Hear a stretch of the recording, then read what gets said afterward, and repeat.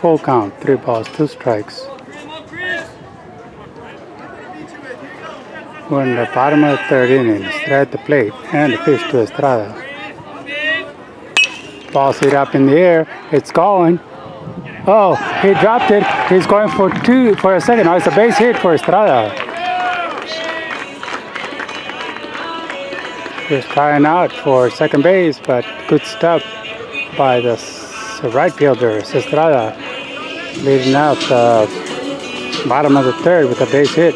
Brings up shortstop, number 13, CJ Pickering. CJ Pickering's being hot.